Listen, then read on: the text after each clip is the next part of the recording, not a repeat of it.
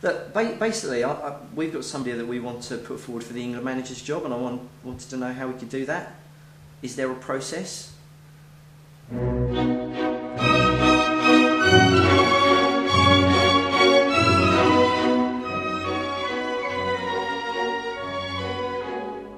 The next generation of football fans is just being phased out because football is such a big business for the clubs now. You know, gate receipts are continuing to rise and attendances are falling, and you know, there's an obvious reason for that. I don't think fans will be considered ever in managing the administration of the game. I don't think that'll ever happen. The Fans Cafe is an organisation that campaign for football fans. We're a campaign group for football fans. So we've been out on the roads canvassing ideas from the fans. We've been asking them what they would look for uh, in an England manager.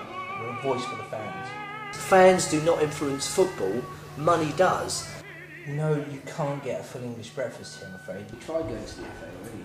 I know, this is why I turn to you guys again. We need some ideas of, of what we can do, how we can get this across to them, or, or any other suggestions. We're not a cafe. It's the Fans Cafe. Great news, we found a fan. I don't really think it's for, for us, any of us around this table to say, yes, we're happy, no, we're not. Will, will he stand up against the, the, the five factors that we talked about last time? I just think it'd be fantastic if he can take us all the way to World Cup glory. It should be interesting. It's very interesting. In terms of um, analysis, they're going to track the things he says and the things he, he thinks should change. And it'd be interesting if they could map how exactly that will have changed the game. What's the point, right?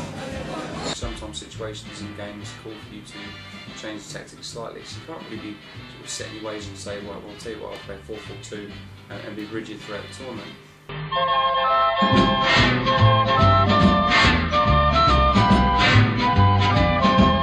Just getting really fed up with all these questions, all these queries about the Verdict Pro stuff. It's just doing my head in. The fact is, we won the games, we're in the quarterfinals, and you're still sitting there talking to me about it. You guys do that. Mate, enjoy it. Enjoy the tournament.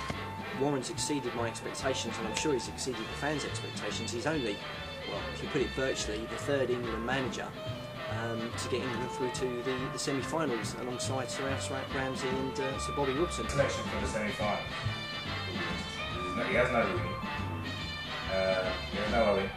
actually think you know what you're doing and any you know the decisions you've made the teams that you've picked do you think that's made a difference or kind of you know or has it just been luck to actually say, has it been luck, I, I think is um, quite disrespectful.